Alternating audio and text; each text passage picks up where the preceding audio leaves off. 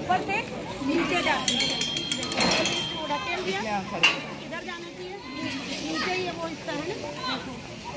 अब क्या हो रहा है?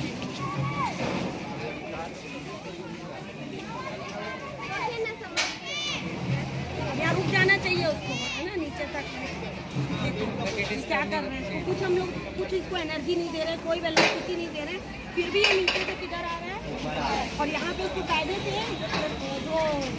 अर्थ का जो सिद्धांत है, उस हिसाब से गलत दिख रहा है। कोई भी व्यक्ति नीचे से ऊपर आके नहीं और अभी रुक भी जाएगा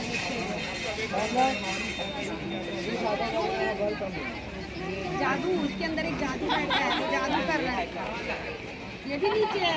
कितना भी करो, वो यहीं पे रहेगा यहाँ नहीं चढ़ यहाँ भी है तो आ जाएगा ज़ोर से करके क्यों हो रहा है? बताओ।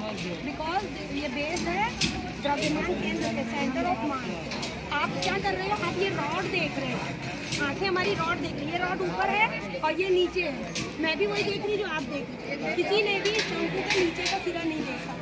इसका जो सेंटर ऑफ़ मास है, इसी स्थान पे सबसे नीचे है। यहाँ पे इसका सेंटर ऑफ़ मास ऊपर है। कोई भी वस्तु वही स्थिर होती है जहाँ उसका मास ऑफ़ सेंटर होता है। द्रव्यमान केंद्र जहाँ होगा, वो वस्तु है। कोई कागज़ है? स्क्वायर है अब इसका सेंटर में आपको निकालने बोलूँगी तो आप आराम से इजीली निकाल लोगे। सर्किल है आराम से निकाल लोगे गोले का निकाल लोगे, लेकिन यदि मैं ऐसा ऐसा पटा चीज़ का कागज़ दे दूँ, अब इसका सेंटर मास निकालना है, कैसे निकालोगे? उसको एक धागे से बांधेंगे, छोड़ देंगे धागे को सिले पे लटका देंगे। कोई भी वस्तु अपने आप को खुद सेट कर लेती है। मैं आज क्यों खड़ी हूँ? क्योंकि मुझे अपना सेंटर ऑफ़ मास पता है ग्रेविटेशन लाइन कहाँ से जा रही है एक पैर में देखो कितनी तकलीफ़ हो रही है। हो रही है? तो वो वस्तु क्या करेगी? अगर वो कागज़ चीज़ है तो अपने आप को सेंटर ऑफ़ मास के अकॉर्डिंग बराबर कर लेगी आधा इधर आधा इधर। समझ में आ रहा है? तो ये अपने आप को वहीं लाना चाहता है, जहाँ